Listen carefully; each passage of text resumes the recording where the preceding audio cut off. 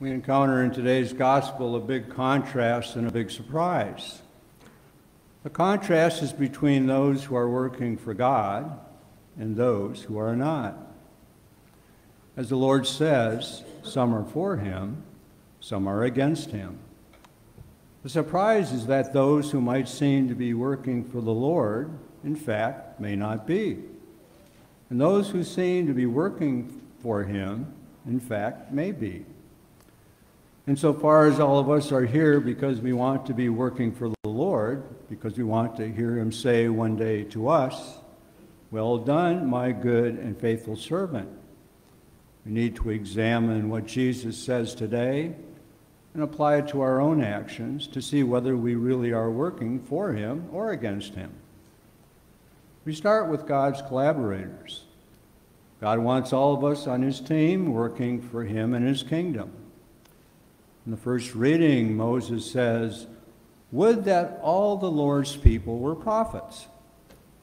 The Lord wants all of us to preach him, to spread his truth, to invite others into the circle of his incredible love. He said this to us in many ways. His last words before ascending to the Father were, Go out to the whole world and proclaim the good news. He called us to be the light of the world, reflecting the light of His truth and the great warmth of His love to others. He said that those who are great in His kingdom will keep my words and teach others to do the same. Proclaiming this gospel, as Jesus told us, is not just saying, Lord, Lord, but doing God's will for each one of us. And he wants us, he wants to help us to seek, find, treasure, and do his will, and to make disciples of all nations. But what we see in today's readings is that sometimes those on the Lord's team aren't wearing the team uniforms. And those who are often are not actually helping the team win. In our first reading, Eldad and Medad were not among the original 70 elders chosen to prophesy in the Lord's name. And so Joshua, still young and immature, who would become Moses' successor, objected. Moses, stop them. Imagine.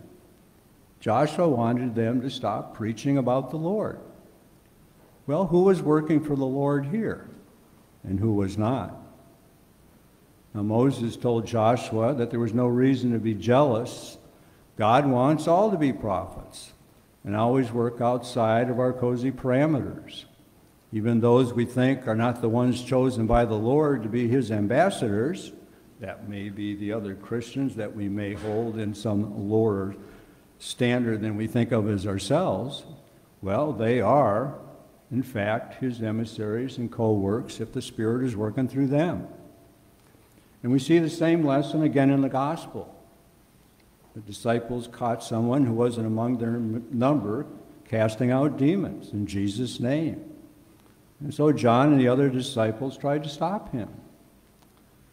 Well, who was working for the Lord? And who was working against him here? The disciples were the ones who were supposed to be God's collaborators. But like Joshua, they haven't figured out God's ways. He had come to set prisoners free, defeat Satan once and for all, but his still immature disciples wanted to stop someone else from casting out devils, from doing the Lord's work, because essentially they were more concerned with what they wanted to be, the exclusive disciples in God's kingdom.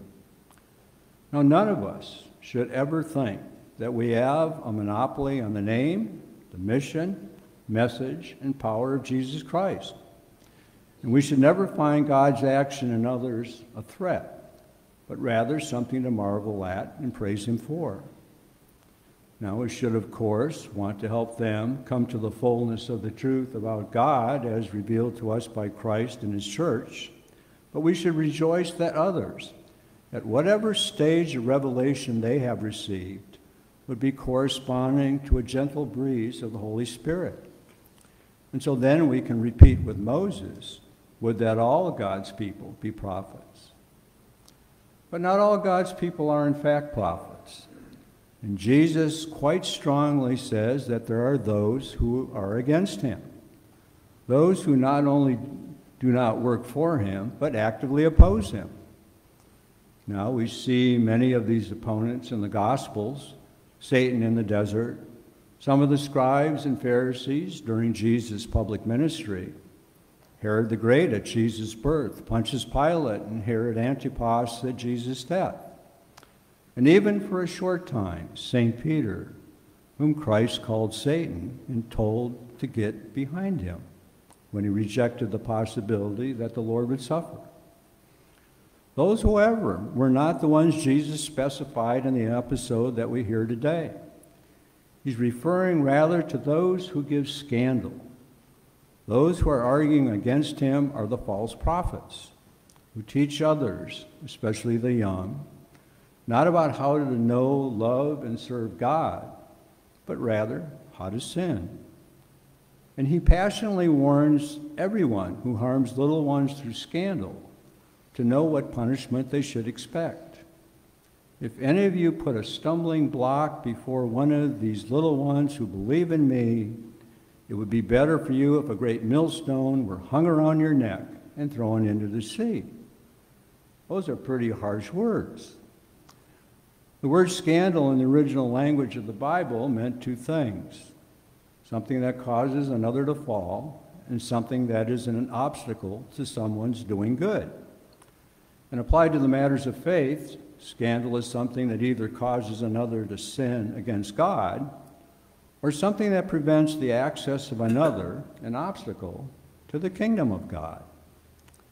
Many of those in the church today who seem to be on the Lord's team often turn out to be false prophets, erroneous teachers of others, rather than those who pass on to them the truth.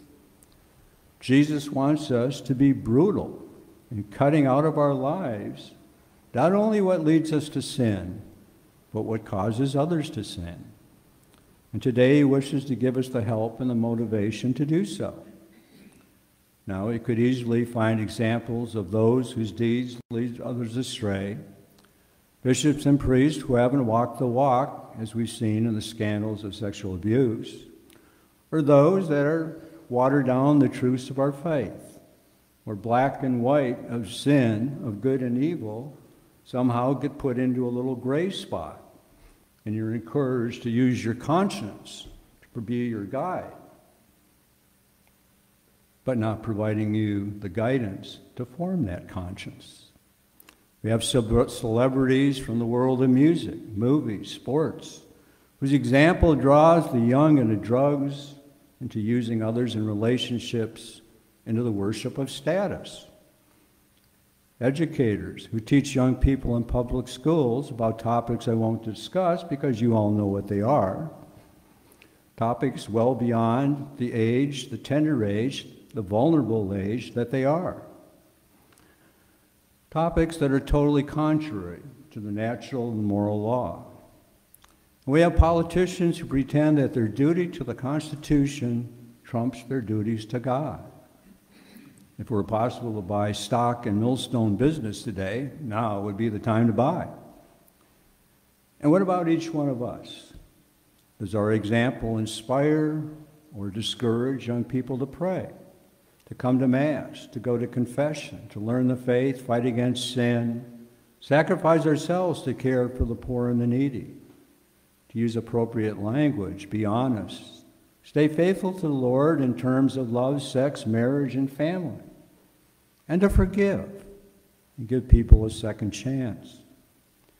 By the entire orientation of our life, the way we act at home, the way we act out in public, certainly the way we worship here in our parish church, are, they, are we motivating are we dissuading the young to become true saints, to love God with all their mind, heart, their soul, and their strength.